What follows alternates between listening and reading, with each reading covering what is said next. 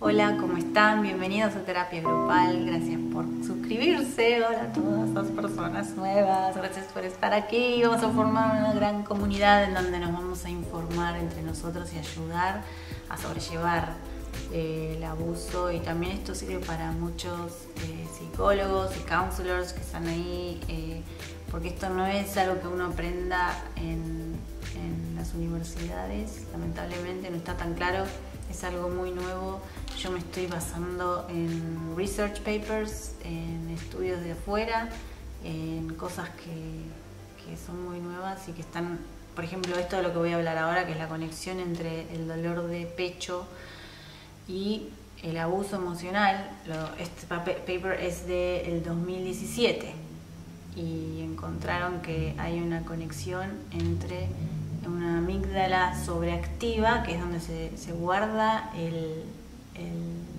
la respuesta al miedo.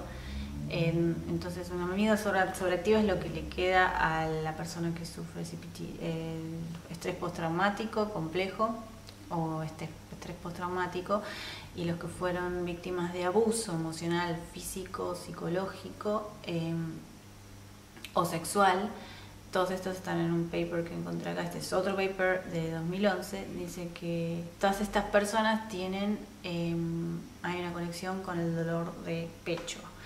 Este, es porque la amígdala está hiperactiva y responde ante cualquier estímulo. Ellos descubrieron que hicieron PET scans, que es del cerebro, y estudiaron a un grupo de personas y descubrieron que hay una correlación entre eh, la amígdala hiperactiva, que es lo que les deja de secuela a las personas que fueron abusadas eh, emocionalmente, psicológicamente, sexualmente, físicamente, eh, es con que saltan por cualquier cosa, básicamente dicho en términos más entendibles, y, y, eso produce un dolor en el pecho. Entonces cuando van a la, a la consulta, a la urgencia médica, les hacen estudios y se dieron cuenta que no de nada, se llaman NCCP, que son Non-Cardiac Chest Pain. En otro estudio descubrieron que un tercio de las personas que sufren NCCP, que es Non-Cardiac Chest Pain, que es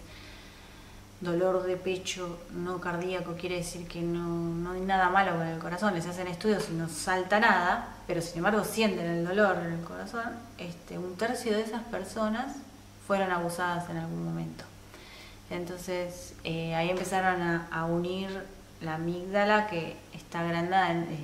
se sabe que las personas que tienen síndrome de estrés postraumático saltan ante cualquier estímulo que les recuerde, los flashbacks y todo eso, saltan ante cualquier estímulo que les recuerde al, abuso eh, o que esté relacionado.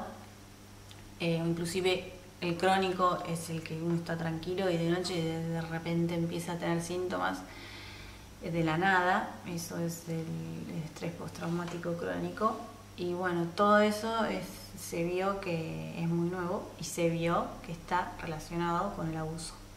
Así que si ustedes fueron víctimas de abuso y sienten este dolor en el pecho, eh, vayan a la consulta médica.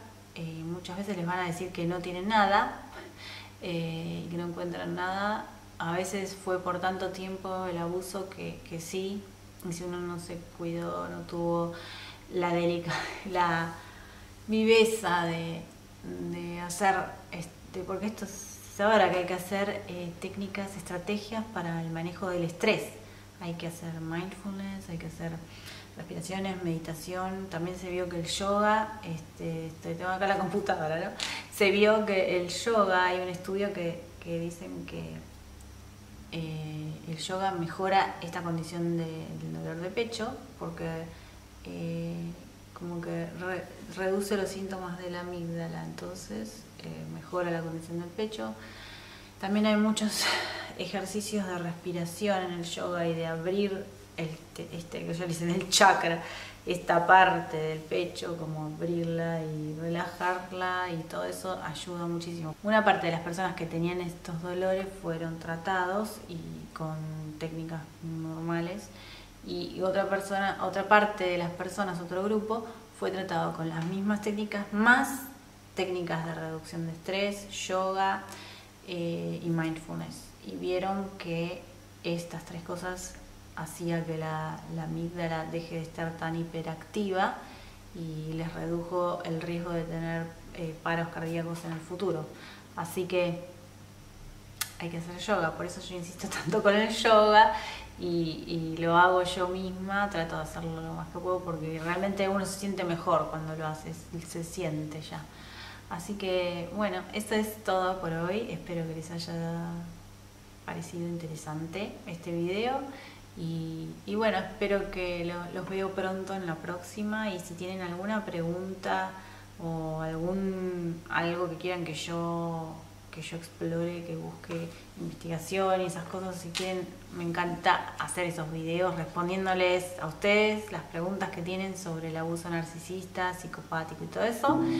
Y bueno, espero que me dejen sus preguntas abajo, cuídense, hagan yoga, reducción de estrés y bueno, nos vemos en la próxima. Chao.